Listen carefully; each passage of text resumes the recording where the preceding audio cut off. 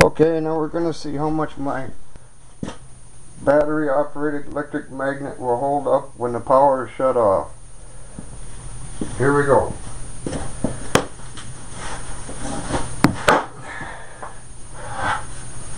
This is a 10 pound weight. Cast iron would be better if it was steel, but it's cast iron. And a hanger up here. No magnetism. Get her try to be balanced. Power on. There she's hanging.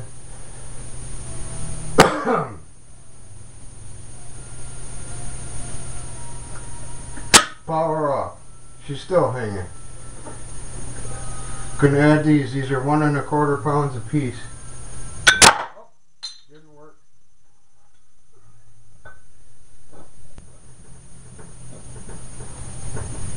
Power on. Power off. Now we're going to try to add these very carefully and balance them on here.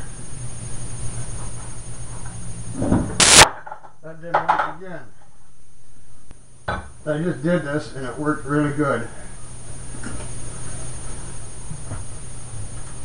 Okay, power on, she's on. Power off, she's off.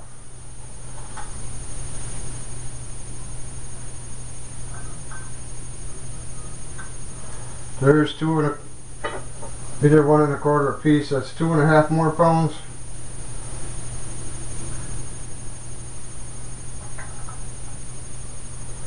Fifteen pounds.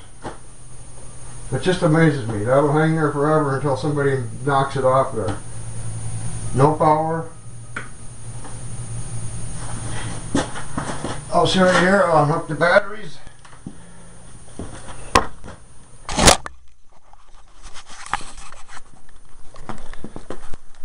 There she's hanging with 15 pounds.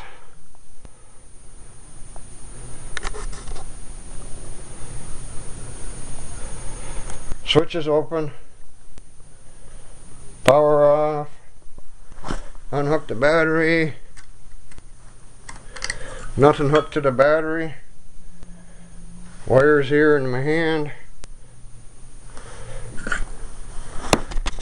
I think that's just totally amazing. I seen one on YouTube and I just had to build one for myself because I didn't believe it. I've got two spools of wire on here. Uh, it's a one by one solid shaft that I bent, but I didn't get a very good job bending it because it was so cold out that acetylene wouldn't keep up on my torch to keep it hot enough to bend it at one time. There's 1500 rounds of number 22 gauge wire on there. It's supposed to be 16 gauge. I had this coil of 22 gauge. It's got another story behind it. That used to be a big magnet out of the brewery in Fountain City, Wisconsin. It was six stories up and it was powered by 220 volts and it took all the metal out of the hops for the brewery. I've had that since I was 14 years old. My dad took through it outside after I moved away from home and uh, the weather's gotten to it and I've used that spool of wire for lots of things. Wire from my shortwave antenna about 200 feet outside and when I was about 14 a buddy of my dad's bought that brewery for the real estate and he asked my dad if he'd help him scrap it out. So that summer when I was 14 was the best time of my life. I got to help my dad and that other guy scrap that brewery out. Of course back then price of brass was about 25 cents a pound and copper was 30. It had a one and a half story high copper kettle in it. It was a half inch thick. Cut that up with a skill saw that would have been nowadays the copper is about three and a half pound now. That would have been a fortune there.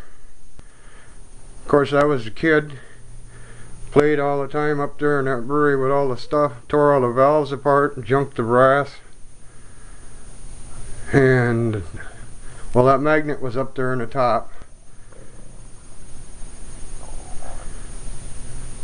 Of course all the thermometers were full of mercury Used to pour that out by the cupfuls and play with that. Couldn't do it no more nowadays though. I just thought I had to show you this magnet deal. It's called a perpetual, mo perpetual motion holder. Invented by the guy that made the Coral Castle. Well, I don't know if he invented it, he discovered it. Down in Florida. Built that whole castle out of coral with no help. You want to know what that is, just Google Coral Castle in Florida. But look at that, hanging there with 15 pounds on it and not falling apart. No power to it.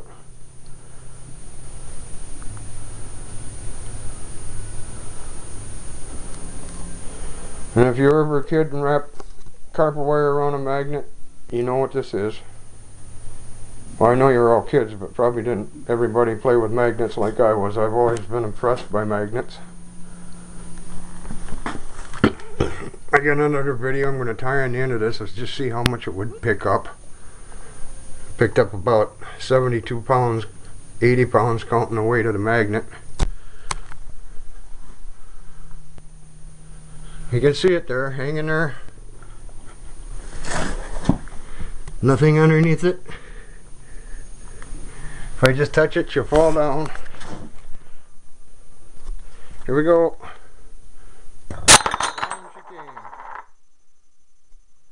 Now you can see no power, won't stay there.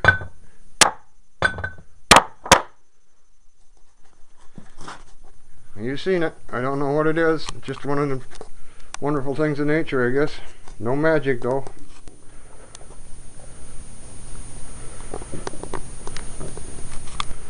Well, there you go. Thanks for watching. I just had to do this. I got this Ford flathead, V8 Ford flathead. I'm going to pick her up with my magnet just to keep her hot rod orientated.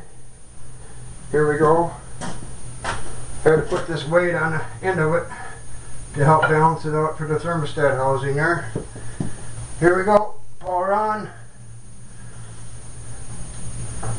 There we got the flathead Ford picked up. She won't hold her with the power off though. Here we go, power off. Down she goes. Only about 15 pounds is all hold without the power on.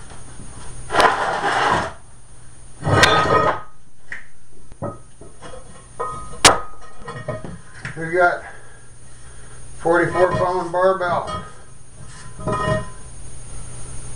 Let's see what she does with that.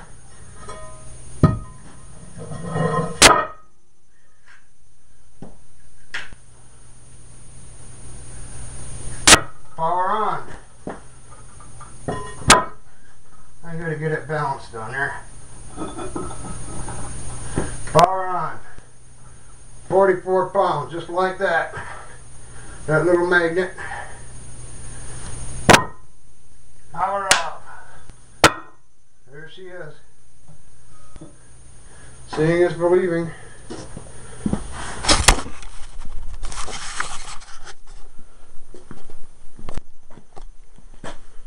Hill Ford Flathead. I don't know for sure what that weighs, not too much. Here's the magnet. Said 1500 rounds of the copper on each side there, hooked. Well, they said you should hook them in series, but I got them hooked parallel.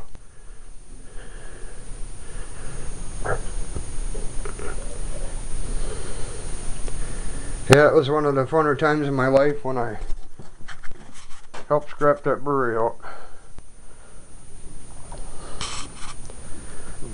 If you only had that much brass and copper today. Well, hang in there, YouTube. I just had to show you what I've been doing this winter somewhat. This one didn't take long, maybe a couple days. That bar is the old PTO shaft off my semi, my 79 Astro. It had a wet kit on it when I got it. But I didn't need it, so I took it off, and that's PTO shaft. Hang in there. We're having a magnet test. See how much my homemade magnet will pick up. I don't know if you can see this or not.